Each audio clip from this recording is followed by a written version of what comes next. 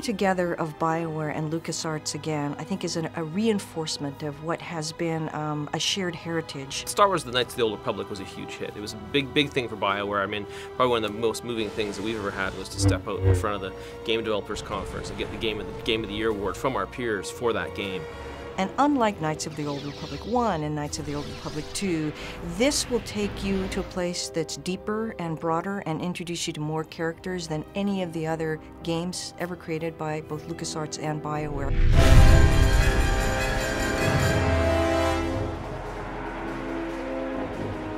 Star Wars The Old Republic is really a chance for us to create the ultimate Star Wars game. It's a game that allows you to live in the Star Wars universe. We've wanted to build a massively multiplayer game at BioWare for probably over a decade now, and of course our experience working with LucasArts on the Knights of the Old Republic franchise is a natural combination. It's something you know we think is just a perfect fusion to build an MMO in the Star Wars Knights of the Old Republic space. And what we're doing is we're taking some of the best of breed features from other MMOs, exploration and combat progression, and we're not losing any of those. Instead, what we're doing is we're adding a fourth pillar, the pillar of story and character.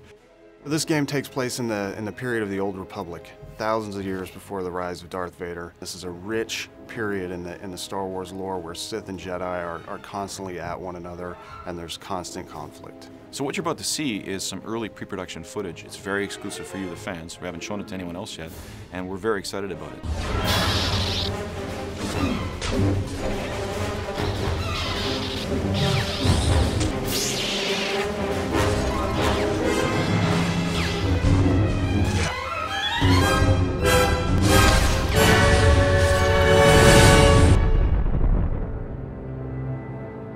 MMO industry in general has been trying to solve story in their in our games for a long time. And I think with, with Tor, what we're doing is we're putting story at the forefront of your experience where every one of your decisions is impactful to, to your end goal and your character progression. And part of the story thing that's very interesting from our perspective is adding choice. Typically online games don't have a lot of choice. You do whatever's in front of you. But in this game, you get to choose to do things a huge dramatic choice comes up. You're sitting there looking at it and realizing you can't save it and reload it and say, hey, I wonder what would have happened the other direction. These are real choices that are going to make real impact on the story and where your narrative goes that you have to live with forever. For the first time in an MMO, every one of your choices is going to matter. All your decisions will guide your, your path towards the light or the dark side. Characters have always been a, a, huge part of Bioware games, and they're also a big part of the Star Wars mythos. And so we felt that they were going to be very important to our game.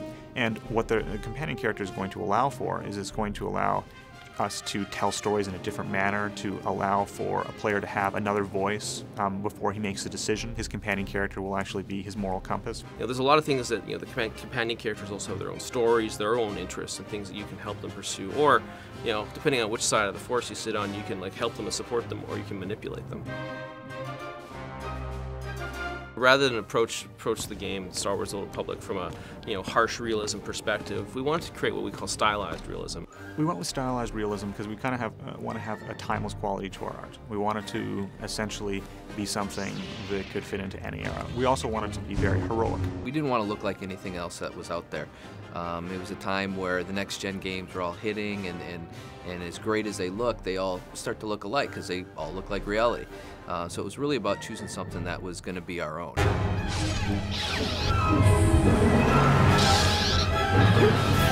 It's going to be really exciting to be part of uh, the online community for this game because this game is so huge. It's got such a giant scope. This game has got more content than every Bioware game that uh, we've created put together.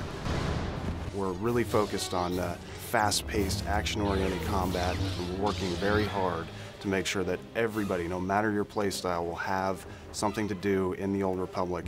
We have a lot of great stuff that's still in the pipe we haven't shown yet. Uh, we've kind of alluded to, teased a bit, but when we get to show it, I think you'll understand why we're so excited about the Old Republic at BioWare, LucasArts, and EA. It's, I think it's going to be the best thing BioWare's ever done. It's our, it's our biggest project, and we're really excited about it.